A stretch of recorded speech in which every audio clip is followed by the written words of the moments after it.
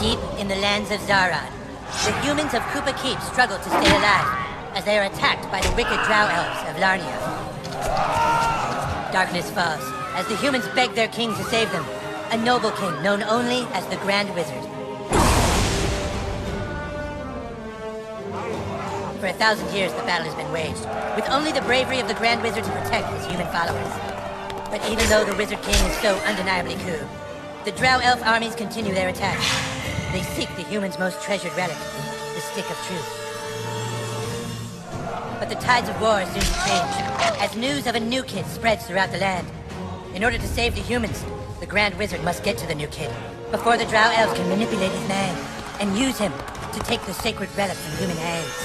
For whomever controls the stick, controls the universe.